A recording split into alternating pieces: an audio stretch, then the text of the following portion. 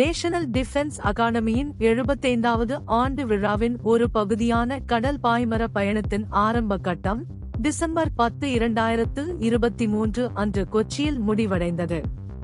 ஒன்பது கேடட்கள் மற்றும் மூன்று அதிகாரிகள் அடங்கிய குழு திறந்த பெருங்கடலில் பயணிக்கும் சவாலான பணியை ஏற்றுக்கொண்டது.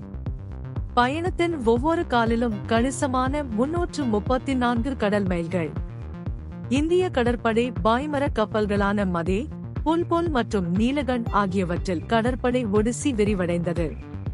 இந்த கடல்சார் சாகசத்தை மேற்கொள்வதற்கு முன் குழுவினர் கொச்சியில் அடிப்படை பாய்மர பயிற்சியை மேற்கொண்டனர். அதைத் தொடர்ந்து கோவாவில் மேம்பட்ட அமர்வுகள் நடத்தப்பட்டன. பாய்மரங்களை அமைத்தல் வழி செலுத்தல் முதலுதவி மற்றும் பிற அத்தியாவசியங்கள் போன்ற முக்கியமான திறன்களை பயிற்சி உள்ளடக்கியது. கோவாவில் இருந்து டிசம்பர் ஆறாம் தேதி கொடியேற்றப்பட்ட தொடக்க விழா கொச்சியில் நிறைவடைந்தது. இரண்டாவது கட்டம் டிசம்பர் பன்னிரண்டு ஆம் தேதி கொச்சி துறைமுகத்தில் இருந்து தொடங்கி டிசம்பர் பதினாறு இரண்டாயிரத்து இருபத்தி மூன்று அன்று கோவாவில் அதன் பயணத்தை முடிக்கும். கடல் படகோட்டம் மன மற்றும் உடல் ரீதியான சவால்களை முன்வைக்கும் மிகவும் தேவைப்படும் விளையாட்டுகளில் ஒன்றாக அங்கீகரிக்கப்பட்டுள்ளது.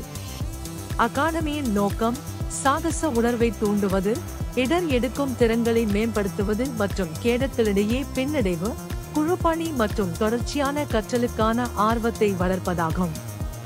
ஜனவரி பதினாறு இரண்டாயிரத்து இருபத்தி நான்கு நிலவரப்படி தேசிய பாதுகாப்பு அகாடமி தனது எழுபத்தைந்தாவது ஆண்டை தேசத்திற்கான அர்ப்பணிப்பு சேவையை குறிக்கும்.